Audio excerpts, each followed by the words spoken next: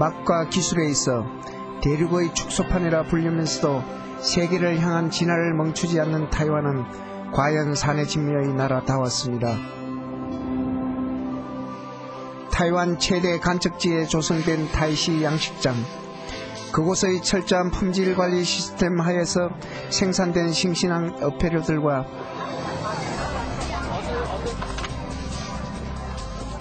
기름진 땅이 생산해낸 다채로운 농산물까지 풍성한 산의 지미로 그득한 천국을 만난 저는 이제 타이완의 또 다른 보물을 찾아 떠납니다.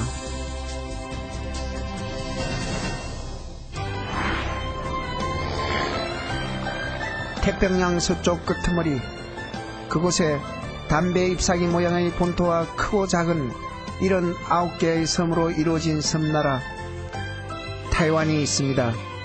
그곳을 둘러싼 풍요롭고 신비로운 생명의 바다를 찾아가는 길 오늘 여정은 서띠에서 시작됩니다.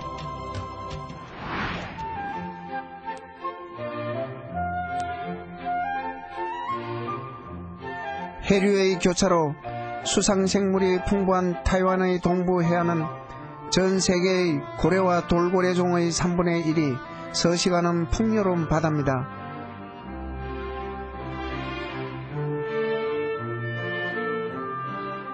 특히 서띠 앞바다는 30여 종에 이르는 고래와 돌고래의 해유 지점으로 유명합니다. 타이완 최초의 고래 관광선 하이징하오가 저를 그곳으로 데려다 줄 것입니다. 그런데 봄철엔 고래와 돌고래 떼를 만날 확률이 95%에 육박하지만 한여름엔 못 볼 확률도 높답니다.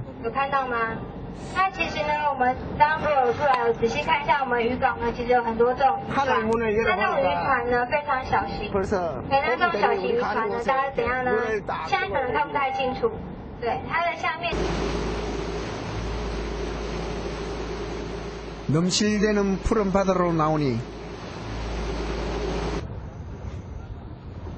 옛 생각이 납니다. 저기 날치, 날치. 야, 날치, 저, 저기 날치야.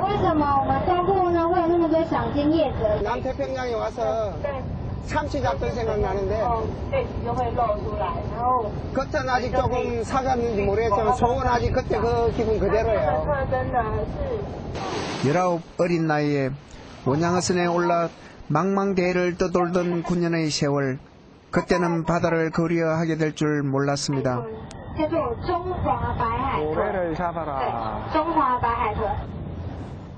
그런데 기다려도 기다려도 고래와 돌고래는 약속이나 한 듯 나타날 생각을 안 합니다.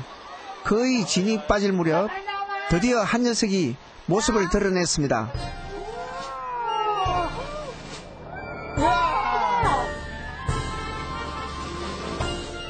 고래입니다. 한 마리뿐인 줄 알았는데 그 주위로 또 다른 녀석들이 올라옵니다. 고래밭이 따로 없습니다.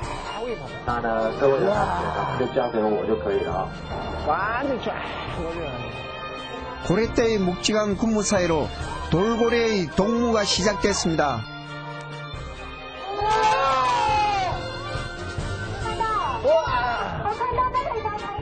友。 서띠 앞바다의 먹이가 풍부한 해류의 교차로가 만들어낸 고래와 돌고래의 천국 타이완은 정말 축복받은 나라입니다. 보면 이큰 대형 마치 수족관을 보는 듯한 기분이에요. 아, 너무너무 멋있어요. 한이 우리 가족이 쫙한 곳으로 옮겨가는 듯한 그런 지금 느낌을 주는데 지금 따라 배 따라 올라오고 있어요. 아, 정말 관계, 장관이에요 정말. 의무를 다한 고래 관광선이 배를 돌리려는 찰나였습니다. 요래 来 요래 ，要不要抓？ 배 옆으로 참치가 나타났습니다. 참치다 참치 이거는 이 참치야 고래가 아니고 저 참치 참치. 一百二十公里啊。来，我就线了哦。 참치가 등장하자 젊은 선장은 뱃머리에서 관광객을 물리고 작사를 거머쥐었습니다. 관광만 시켜주는 배인 줄 알았는데 참치도 잡는 모양입니다. 젊은 선장은 목이 터져라 참치의 움직임을 따라 배의 방향을 지시했습니다.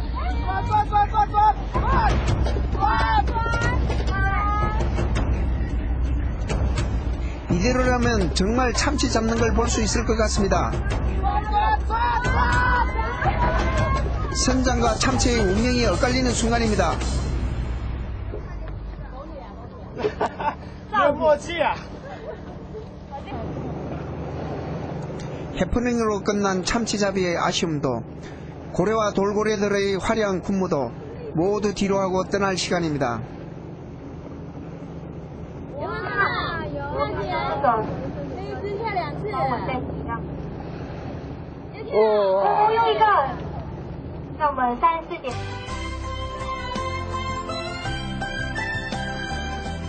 저는 이제 타이완의 원주민 중 하나인 야메이족의 섬 나니다오로 향합니다.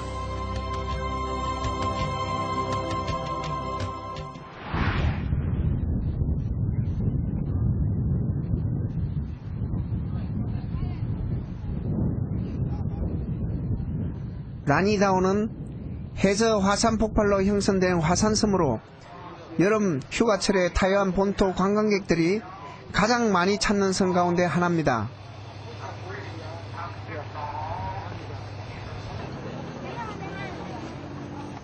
이 섬을 찾은 관광객들이 제일 먼저 하는 일은 스쿠터를 대여하는 것입니다.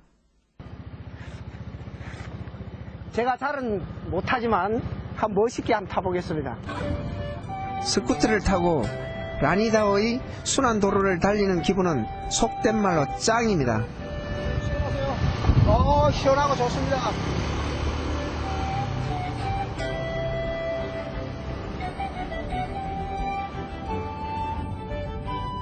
시원한 바람에 유난히 후덥지근한 날씨도 있을 수 있고 도로를 따라 펼쳐진 화산섬 특유의 아름다운 풍광도 볼 수 있기 때문이죠.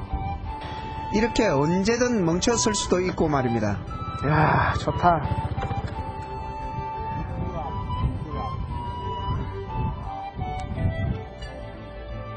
거센 바람과 파도가 조각한 들쭉날쭉 기기묘묘한 검은색 화산암 해안 풍광은 그야말로 장관입니다.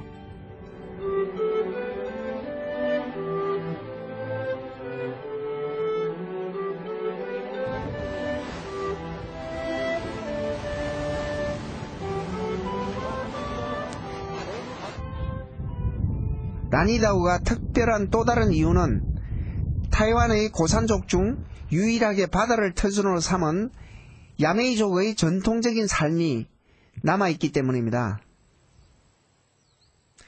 타이완과 필리핀 중간 지점에 자리한 나니다오. 이 섬에서 오랜 세월을 살아온 야메이족은 혈통적으로나 문화적으로 타이완보단 필리핀에 더 가까운 편입니다.